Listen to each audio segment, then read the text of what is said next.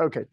Um, so uh, thought I'd open with a bang with a nice graphic here.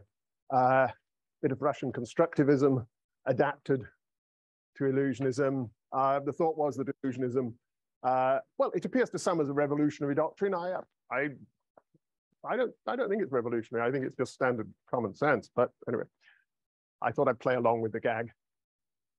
So, uh, and actually, uh, now, how do I make this advance? Ah, it, uh, just tap.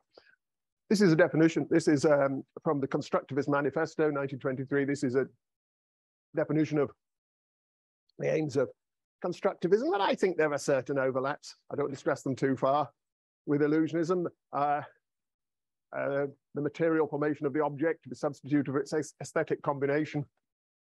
Object to be treated as a whole. Uh, I'm not sure about the industrial order of things. Um, technical mastery and organization of materials. So yes, there are some connections there. I don't want to stress them too far, but just to say that. Okay. So what I'm going to do, actually, uh, that slide should have come after the introduction. Introduction. What I want to do in this talk is I'm not going to defend illusionism. I'm going to outline some of the implications of illusionism. If you adopt the view, what follows? What practical uh, uh, consequences follow for the way we do various things, philosophy, science, the way we think about the ethics of consciousness and so on. And I'm going to do that for, and so I'm going to present some do's and don'ts for researchers in various fields. And all of those are spelled out on the handout. Each of these could probably do with a little lecture in itself, but I'm going to run through a lot of them quickly, just to give you a sense of the, the, the broad picture. And then we can, we can go into some of them maybe later over the course of the, of the workshop. Uh, and one of the reasons for doing this is to give you a better idea of what illusionism actually is. If any definition of it gets bogged down in questions about what exactly it is that illusionists are denying or claiming to be illusory. Uh, qualia, phenomenal properties, what it is likeness, how do we how do we get a grip on these? It's not easy to get a grip on these notions, and that is part of the motivation for illusionism itself. So instead of getting bogged down in that, let's look at uh, what does it, you know, what does it come out to in, in cash value? Uh, what exactly illusionists? Uh, so the difficulty in saying what illusionists are denying, you can cash that out by looking at the recommendations that illusionists make. By their fruits shall you know them. By the fruits of illusionism shall you know it. And also, uh, another aim is to pose a question for those people who are physicalists, but resist illusionism, who think that illusionists have somehow gone too far or um, uh, uh, uh, missed something out. Do they resist any of these recommendations? And if not, then it's just a matter of presentation and terminology uh, and emphasis and rhetoric rather than anything substantial. So it's to try to focus the issue a little bit between uh, illusionists and other physicalists. And that's the plan. I'm going to begin by giving a brief introduction to illusionism, a rather caricatured introduction, just to get us started. Um, a reminder for those who already know what it is, uh, an introduction, quick introduction for those who don't, uh, and which I thought might be useful for the, for the workshop as a whole. Uh, I'll try to keep that for about 10 minutes, and then I will trace through some implications, some recommendations, do's and don'ts for those five areas, philosophy, neuroscience, uh, animal consciousness, and AI, uh, and, and then ethics. I see this will all be very quick, but it will be it will be a starting point, I hope, for discussion which we can continue over the next two days. Okay, so let's have a start where the top of the slides is, is obscured here. Don't know how to. The, sorry? Maybe Emily would might have they want us to read the two comments. Oh, there's a comment in the chat, I see. Um, that's all. Oh, good. Oh, never mind. Oh, that's great. Got it. So, quick introduction to illusionism. uh, so here we have uh, a sad-looking person looking at an apple. Um, we're going to start with experiences. Not going to start with what it is likeness with phenomenal, phenomenal consciousness, uh, what it is likeness. I'm not going to start with. I'm going to start with just experiences,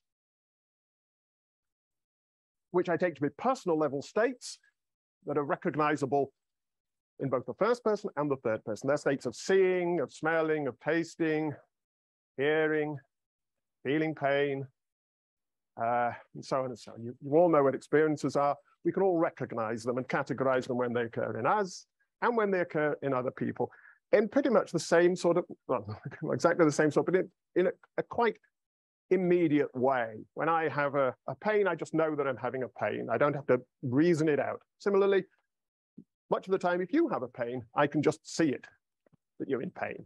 I don't need to infer in a, in a, in a explicit way from the data. I just see that you're in pain. Um, so we have these recognizable personal level states. They're real, there's no problem about that. The question is what, what, what's their nature? And one thing we know about these states is that they are very, speaking very broadly, they're complexes of informational and reactive processes. Everyone agrees on this. So caricaturing very much. What's happened? I seem to have lost the. Uh, ah, here we go. So we have receptor cells that fire and send uh, signals to sensory processing regions of the brain, which construct representations of various aspects of the environment. Then we have attentional processes, which select some of that information for wider usage, for global broadcast, if you like the control systems, various kinds of brain, which then generate a host of reactions. It's about as simple as you could get, but that is the general picture. Reactions here, uh, I take the, the, the, green arrows, the reactions, I take those to include folk psychological, things we categorize in folk psychological terms, beliefs, desires, emotions, memories, all sorts of things, but also a lot of stuff that escapes the folk psychological net, a lot of um, um, implicit stuff, like priming effects, broadly construed. All sorts of little changes in the micro settings of the brain, which will uh, shape how the next round of um, stimuli is processed and interpreted and the next round of reactions. Uh, so you could tell this story if you wanted in a, in a predictive coding kind of way. Um, and so let's characterize that even more crudely as, as a sort of cyclical process, information coming in, reactions being generated. Most of these reactions, some of these reactions will be overt, will be behavioral, but I'm talking mainly about psychological ones and physiological ones too. Um, and that shapes how the next round of stimuli is processed. So you have a, something like a cyclical process like that. And I think pretty much everybody agrees in, I mean, that's so simplified and so caricatured that I think pretty, pretty much everybody could agree that something like that's happening. Now, fine. And then the question is, is there something else happening? Uh, are these processes somehow producing introspectable mental qualities of some kind? Uh, the actual redness of the uh, uh the redness of the apple, of course, the poor old apple in the world there isn't really red. It's just got certain stru structural properties, primary qualities, surface textures, and so on that affecting light of certain kinds. The poor old apple isn't red, but the brain kind of fills it in, colors it in, uh, like a painted by numbers kit with the, the, real redness. Uh, and these properties minimally, I have been trying to think what's the minimal commitment to a, a, a phenomenal realist view. And I think it's that these properties being intrinsic in some sense, they're distinct from the informational and reactive processes. They may be playing informational roles, uh, they may be causing reactions, but they're not themselves just informational states, not themselves just reactions. There's something extra. And uh, all sorts of stronger claims are made from them, which I think are probably bound up with that basic commitment. Things like they're being private, they're being ineffable, they're being immediately uh, uh, apprehensible in uh, um, being, um, so I'm just trying to keep an eye on the time.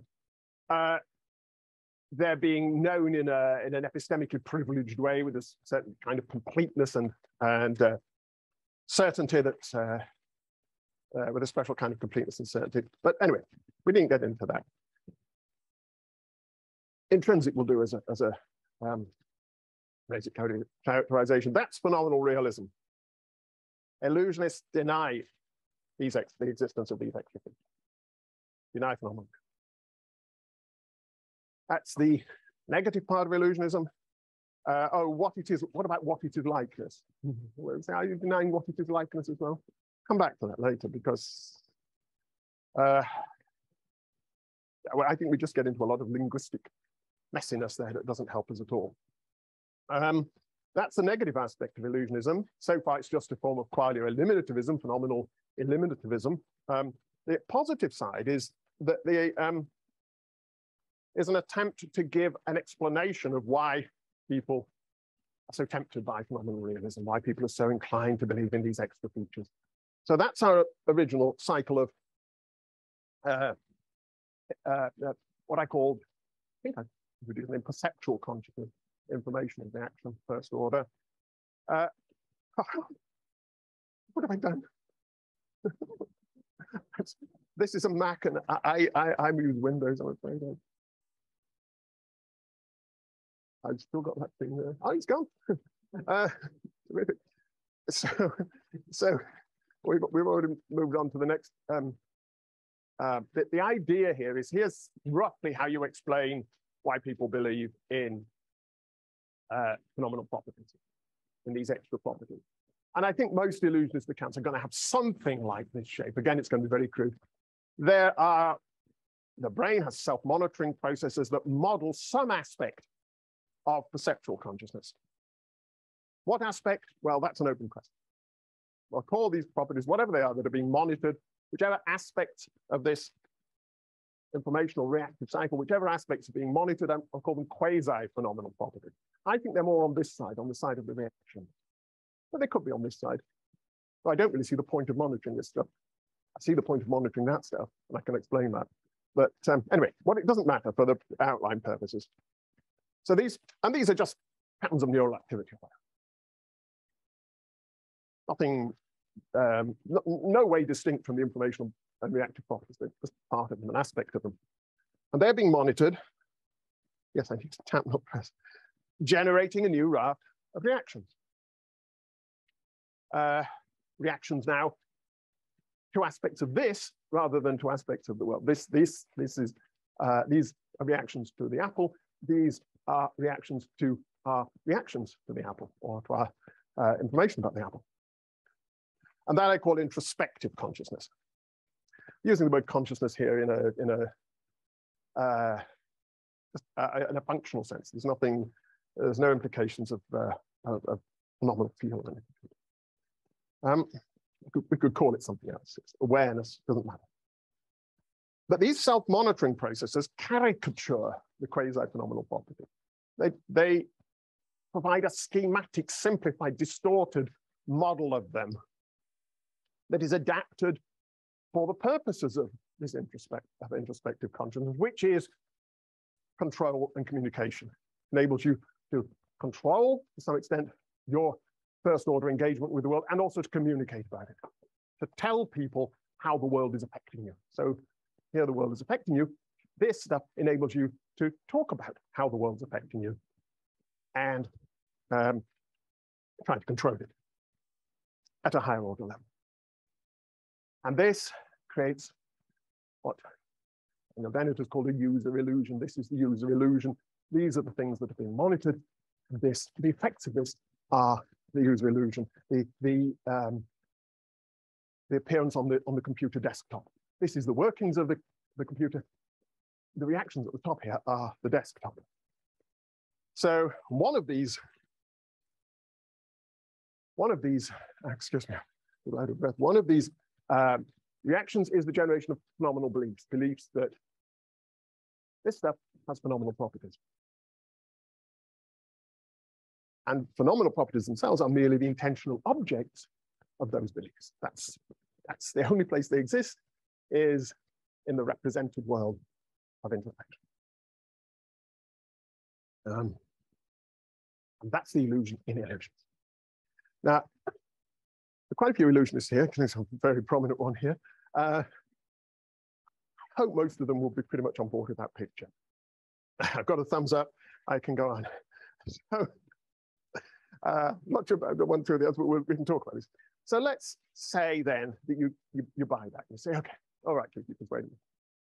I'm having it. What follows?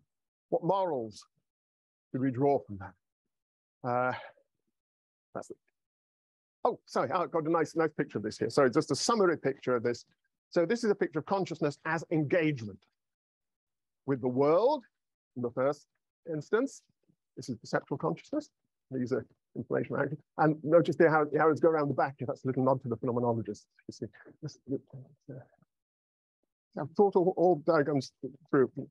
Uh, and it's engagement with the world and with our engagement with the world. We're not just engaged with the world, we're engaged with engagement. And that's what generates the sense of there being this, this strange private inner world of phenomenal qualities that then send everybody off down a metaphysical uh, uh, uh, pathway that branches out into all sorts of things. And by following that pathway, you end up with all sorts of, uh, they're quite reasonable once you start off down that route. You end up believing that electrons are conscious or whatever. Uh, but what if you don't follow that? What if you accept that it is just these information reactive processes? What follows then, right? Uh, we did start a bit late, didn't we? So I'm let me know if I if I run over. I've got a lot to say, so um, I'm going to go through this fairly quickly. Some of these I will just say things, do's and don'ts, and uh, I won't be able to defend them properly, but we can talk about them later. It was it's right at the beginning, so there's plenty of time. Let's start with the implications for philosophy. Now, the first one I want to say is don't. This is actually a piece of pragmatic advice. Don't deny that consciousness exists, because if you do that, people will think you're saying that we're all blind and deaf and that we, we, we, we, we don't feel pain and that we don't have emotions and we don't so on. And they will suggest that they would come up and smack you on the nose to, to prove that you're wrong and so on. It's just pointless denying that. Course, consciousness exists. Experiences exist. That's where we started. These things are conscious experiences exist. You can recognize them. You can recognize experiences that I'm having, recognize experiences that you're having. No problem. The question is, what are they? Now, we don't want to say that a certain form of consciousness exists, the one that consists in this, in these phenomenal properties. Yes, we want to say that kind of consciousness exists, and we need to be absolutely robust about that. But don't just say consciousness exists because people will take the wrong message from that. Um, do, however, define consciousness neutrally. Creature consciousness, consciousness uh, as, a, as, a, as a feature of organisms, it's just having experiences in the folk psychological sense. And we can all pick those out. We're all good at folk psychology. Most. State consciousness, if you want to have a notion of uh, consciousness that applies to mental states, I'll just say it's whatever distinguishes experiences in the sense of attentive seeing and so on from, say, subliminal perception, where some information is getting in that it's you, you can't introspectively recognize that you're, that you're in that state. So you have to do experiments to find out what you're subliminally conscious of. So say experience is whatever uh, consciousness is whatever distinguishes those two. And of course, everyone's going to agree that a lot of those informational and reactive processes, there's going to be big differences in those. There's some going on in the case of, of subliminal perception, but a vast amount more in the case of um, conscious experience. Uh, the question is, what else might be going on, if anything?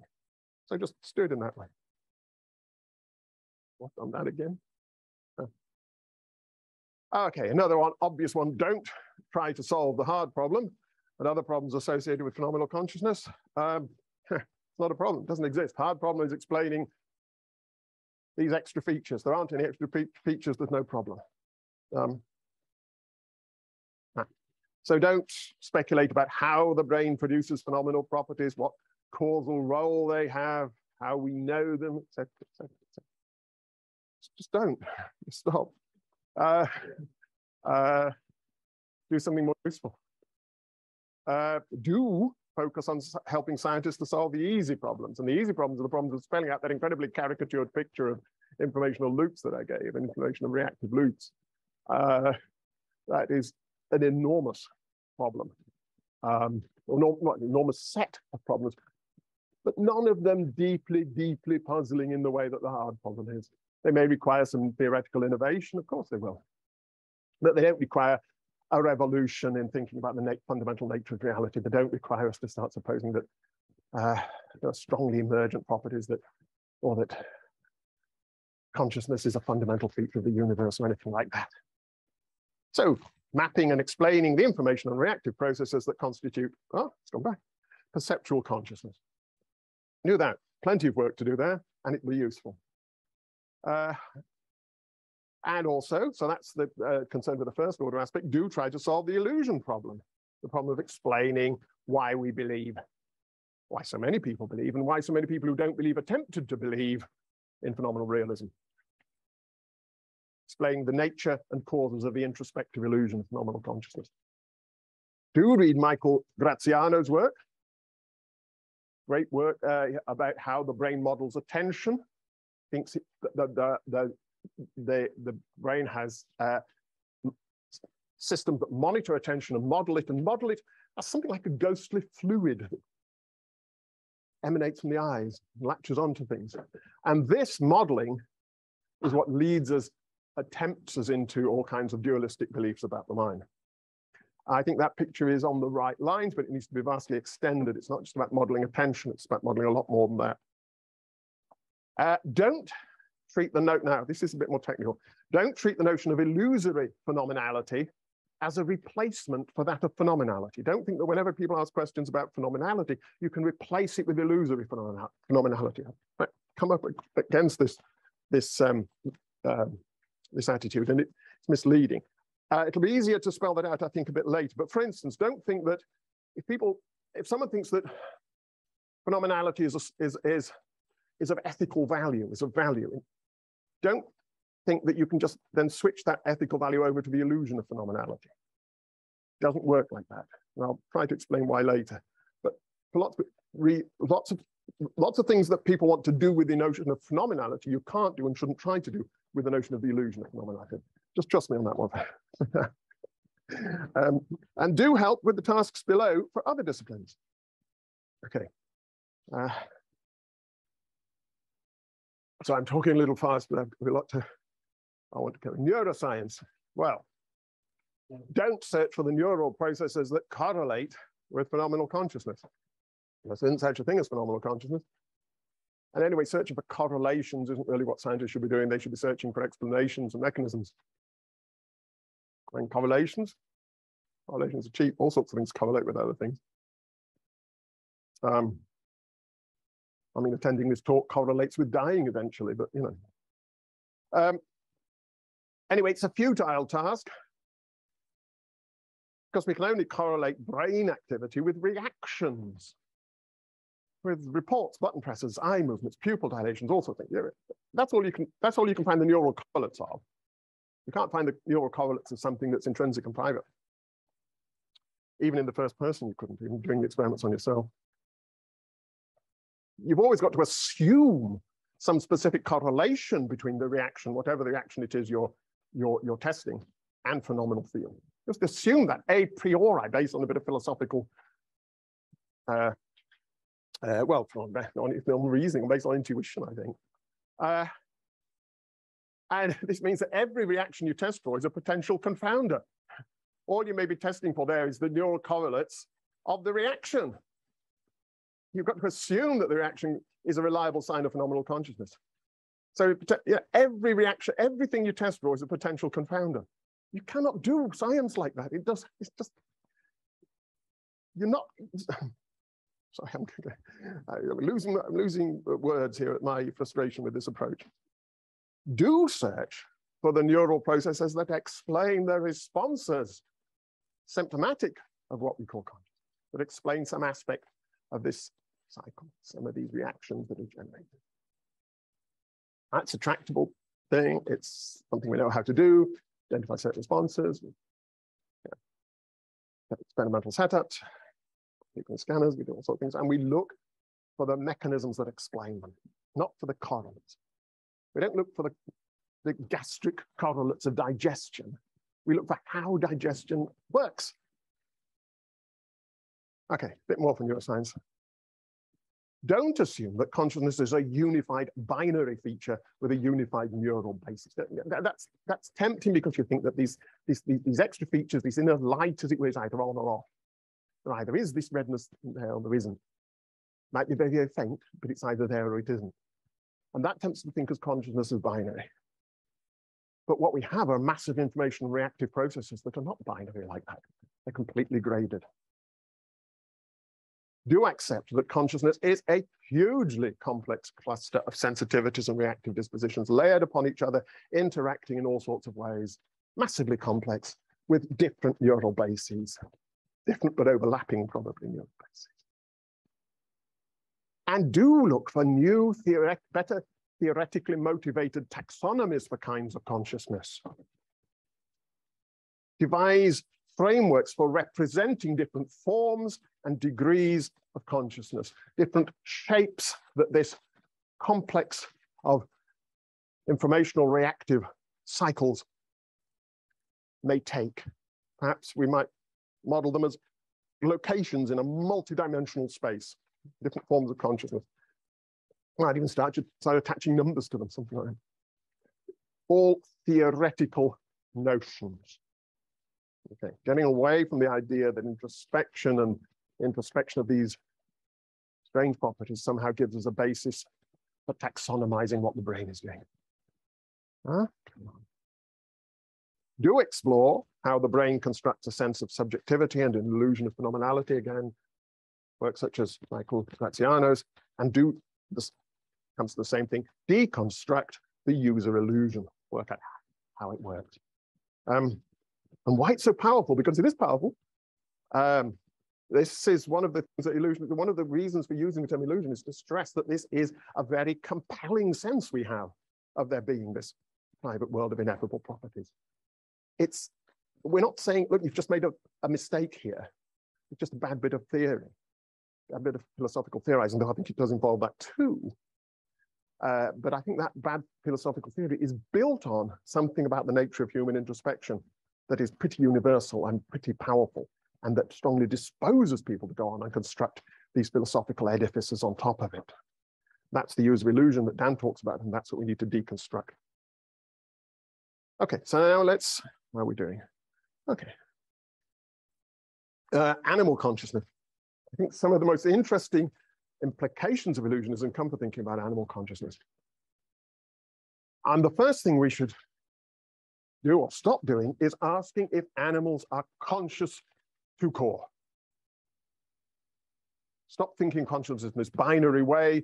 Stop thinking, stop asking if it's if it's like something to be a fish. Okay, we can see all the reactions of fishes as is, is displaying. We can, uh, if we get in, you know, if we could get in a lab and do psychological experiments on it, we could we could tease those out in all sorts of of, of ways. But still, it seems there's a mystery about whether it's actually feeling any of this whether the lights are on inside, whether it's like anything to be a fish. Don't ask that question. It's a bad question. It's an unanswerable question, and it's, it's going nowhere. Don't think of consciousness as analogous to an inner light. Don't assume that there is a sharp division of creatures into the conscious sheep and the non-conscious goats. This is, I, I want to stress this actually, though my friend Nick Humphrey won't like this too much, but he's not here. So um, and, and someone who is more sympathetic is. So I'm going to go ahead on this. Don't think of it like this, that um, in the course of evolution, uh, there was some point, or there could have been many different points, at which the inner lights came on, people and, and creatures got into this privileged realm of, of, being conscious, and all that lot were not conscious. And they, they, they don't take any notice of where the, what creatures fall into which uh, things on the diagram. But do not think of it like that way. It's, it's, it's not only unhelpful, it's a positively distorting and pernicious way of thinking about animals. So do think creatures as having different forms and grades of perceptual consciousness. Different kinds of informational and reactive loops. And what's more than loops, loops upon loops upon loops in interacting and, and uh, uh, looping back on each other and doing all sorts of fancy things.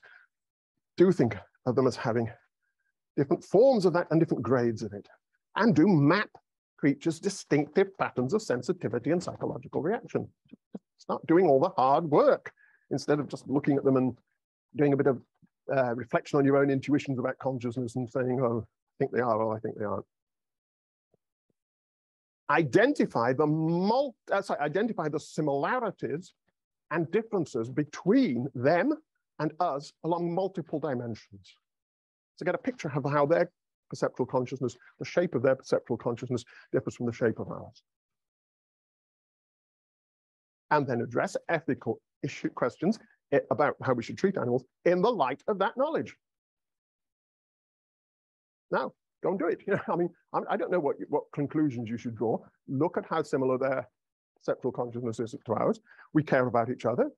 We want, we care about some other creatures close to us. How far should we extend that concern? How should we, um, how, uh, how strong should that concern be?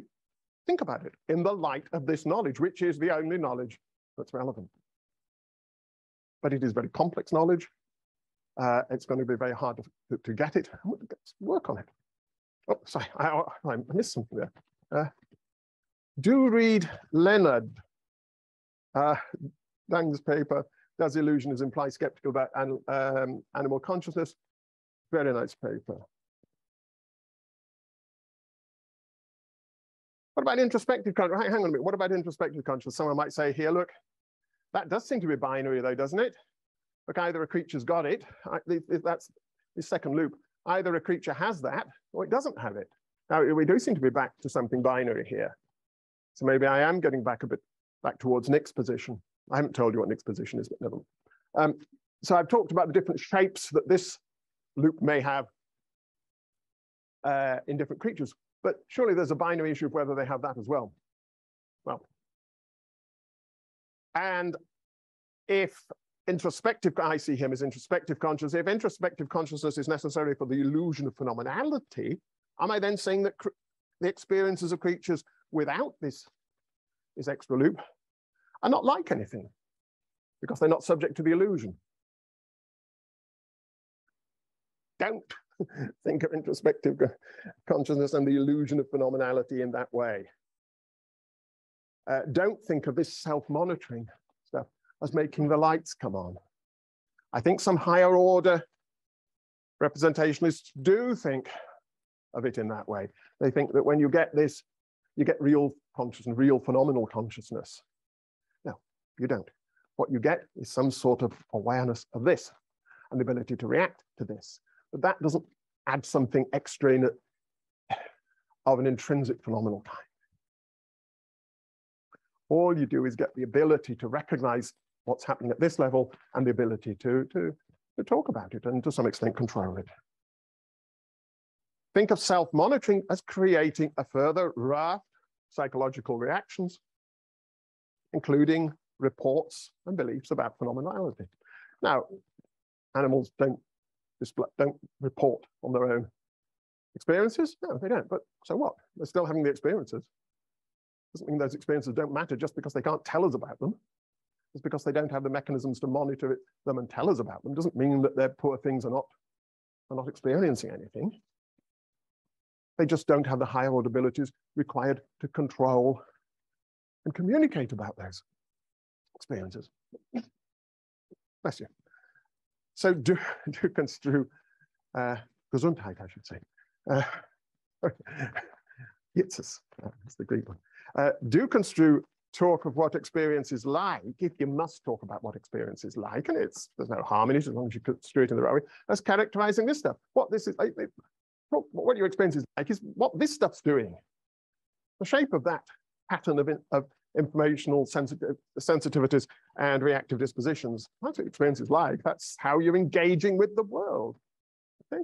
So if anything qualifies as what experience is like, it's this stuff whether or not you're monitoring. It. But uh, when we do talk about what it's like, we're talking about it metaphorically, using the fiction of phenomena phenomenality, which is uh, created by the user illusion. So do conclude that the experiences of creatures lacking introspective consciousness are still like something in this non-phenomenal sense, which is the only sense that makes any uh, sense anyway. So I think this perspective actually is a um, uh, a, a, a, liberal one towards animal consciousness. Okay, it's uh, there's no question of excluding some creatures from the privileged realm of consciousness. Uh, we can extend it as far as you want until it sort of gets so thin that it's kind of run out of any connection with our everyday usage, and then we might stop. But not because anything sort of radical is cut off, but just because it's got so thin and it's either on a thermostat or something. And yeah, what's one doing about that? It's. Okay, AI uh, quickly because uh, I'm okay for a bit, little bit longer. Yeah, okay. AI, the morals here are fairly similar. Just don't worry about phenomenal consciousness. Just don't worry about it. Just stop thinking about it. don't worry. Uh, don't try to think about how you could create it. Don't worry about whether you might accidentally create it or have created it, or whether it might create itself suddenly, spontaneously, when you weren't looking. I mean, it's futile. The idea of creating it is futile anyway. Because if we cannot characterize consciousness with phenomenal consciousness, if we can't characterize in functional terms, and there's no way you can design a machine to produce it. You go to the, the engineer and say, build a machine that has an intrinsic phenomenal character to experience. It's, it's, you can't draw a blueprint for that. It's you can't do it. I mean, that is the power. That is the the the practical analog of the the hard problem the epistemic side. It's the hard project, trying to build something that you have no idea how to build and couldn't determine if you had built. don't, don't engage in that. Do focus on the ease, easy project of creating forms of perceptual consciousness, making robots that engage with significant features of their environment, uh, and uh, should, there should be a verb in there, and generate and produce a, range of appropriate responses where significant and appropriate are, of course, relative to the AI's purposes. Purposes, not purpose. Not purposes. Uh, don't ask if an AI is conscious, again, in this sort of binary way, like we do with animals, no point in it. Just ask where a specific AI is located in the multidimensional space of forms of perceptual consciousness that I talked about earlier. Get some theoretical framework for mapping different forms of perceptual consciousness and ask where this AI is, is in them. And of course, it might be very likely in regions that are not, not occupied by any uh, living creature and draw the same morals about introspective consciousness as those for animals. It doesn't switch that make the lights come on, just provides a set of higher order control uh, functions, allows for communication about the, uh, uh the, the creature's engagement with the world. But do think about the value and risks of equipping AIs with introspective mechanisms that create the illusion of phenomenality whether directly because you've decided that you wanted, you think that'd be a good thing to do itself, or just as a side effect of other kinds of self-monitoring. Uh, because there might be significant risks associated with giving AIs this sense of their being metaphysically special. Certainly Nick Humphrey thinks that evolution designed us to have this sense of having a, uh, a um, metaphysically special dimension to our own existence. He thinks that that changed our attitude to ourselves and to each other and to life in significant ways and might do the same with AIs. So be careful with it. Wow. Okay, we're getting, we're getting there. We're getting to the last section now. So ethics. This is something I want to say quite a little bit about here. Now, here's a quote from Galen Strawson. The great thing about Galen Strawson is that he provides such wonderful quotes for the illusionist. Uh, he So uh, here we are. It's, this is from the exchange in the um, Europe, Europe. Dennett's right. No one has ever really suffered in spite of agonizing diseases, mental illness. I mean, I'm sorry. No one has ever caused anyone else pain. This is the great silliness. We must hope that it doesn't spread outside the academy. I suspect it's already is outside the academy, and it might be the normal, the default view of people who haven't been too much indoctrinated, um, or convince some future informational technologist or roboticist has great power over our lives. Okay. Don't think like this. That's committing all the sort of errors I've just been, been pushing against the idea of the inner lights and these inner lights having a tremendous ethical significance for us. It's conceptualizing ethical value as rooted in that extra feature. So, well, if you do that, and then you say, well, the extra feature isn't there, you say, well, I don't know. no, remember where we started. We started with the fact that experiences exist. and they are whatever they are, you know. I, I have, I go into states that are pain states quite often. you go into states that are, are pain states, and I can, I can tell when you do. Um, if, you, if I dropped something, a hammer on your toe, you would go into a pain state, and I would recognize immediately that I had, that you had done. I'd be able to tell it by seeing it. Really, I can just, you know, behavior reveals this stuff very well most of the time. I mean, it's not saying it's sufficient. There's all sorts of internal reactions that are important too, but behavior reveals it very well. Anyway, so first of all, don't deny the existence of suffering of any other form of experience, folk psychologically characterized. Of course, of course these states exist. The question is, what are they? That's what Dan says in his reply to um, uh, to uh, to Strawson. He says that yes, Strawson is expressing a way that a lot of people think about consciousness, and it's a it's a daft way, and all proposing is a better way of thinking about it. Do insist that experiences matter in the way we ordinarily take them to be. I don't think anybody thinks that pain matters because they're theoretically committed to phenomenal realism.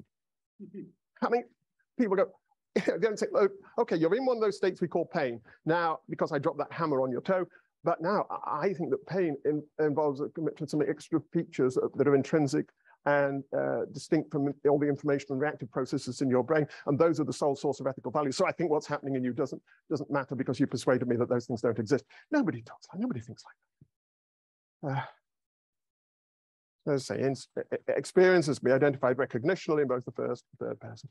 Do insist that illusionists merely offer uh, a different account of the nature of experience, of what's happening in these cases. And don't think that answers to questions about the value of experience depend on answers to questions about its nature. It's just part of our ordinary engagement with each other that we recognize these states and we care about them. That's just part of how we, what it is to be a human inhabiting the human world and interacting with, having all the sort of reactive attitudes. Uh, that's what it is to be, to live as a human being, to recognize these states and care about them. Theories about the nature of these states philosophical theories of scientific theories, don't come into it. That's, that's down the line. Don't think of ethical value as grounded in phenomenality. This is where I may have some, I think Francois takes this worry more, more seriously than I do. I don't think, I don't think. But, and do develop alternative accounts of ethical value. And in fact, I think that'd be quite easy really because we've the everyday tools for doing it. I don't. Um, I just sketched it there. But do read Francois' paper, The Normative Challenge for Illusionist Views of Conscience. Francois takes these words much more seriously than I do and thinks that we might have to uh, make some adjustments to our everyday ethical uh, judgments. Uh, I'm not persuaded of that. And I, I, I, I credit to Francois for exploring this option. I think it needs, it's good to explore it, but ultimately I, I, I don't think it's the way to go. Also, and this is the last slide now, so we can questions do highlight the positive ethical implications of illusionism. And I think this is an important thing. Do note that phenomenal realism tempts us, if it doesn't compel us, it certainly tempts us to believe that we can never really know what it's like to be someone else or some other creature. We can never know what it's like to be a bat. It's all hidden from us. So how much should we care for bats? The ethically significant facts are hidden from us in principle. So, you know, you just do a bit of, you just consult your intuitions, do a bit of philosophy, and take a punt. Let me do that. We can identify all the ethically relevant facts. They're all out in the open. There are no radically private facts about experience. So insofar as experience is related to ethical value, all the facts are in principle available for us. The relevant facts, oh, in fact, we can uh, we can do psychological experiments. Uh, it's a matter of finding what features of the world creature is sensitive to and how it reacts to them, and what features of its own experience it's sensitive to and how it reacts to them. And all that we can tease out with appropriate psychological experiment. It's very difficult to find the right protocols and so on, but so the thing we can't do. Besides the relevant facts, so they're detectable in principle, and they're usually they're usually well revealed in behavior. I mean, we get on this way in our everyday life. We don't do psychological experiments on each other. We don't do philosophical uh, argument with each other to work out whether we should care. you know, we've got it all in folk psychology. Just, just do it properly. Um, so the relevant facts are not private. They're always available in principle, provided we look long and carefully. So the final model, do look long and carefully at each other and at other creatures and at AIs. Look at them, see what their experience is like, and decide how much you care about it. So that's the, the last of the do's and don'ts. I know there are a lot, and I apologize for that. Uh, I've got another bit of constructivist art for there, art for you there, which I spent way too long doing this. I really did. I really, really did. Uh, um, well, I thought if the talk's bad, at least you, you like the images. And I also have a little, little thing for you, which I'll just leave up, well, um, which is a little, um, a little um, lyric. You can guess the tune.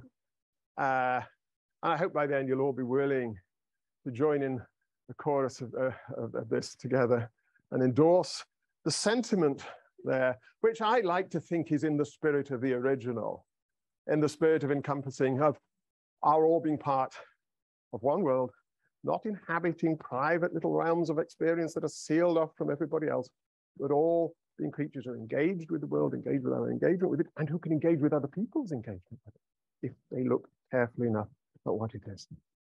So imagine. Okay, thank you very much.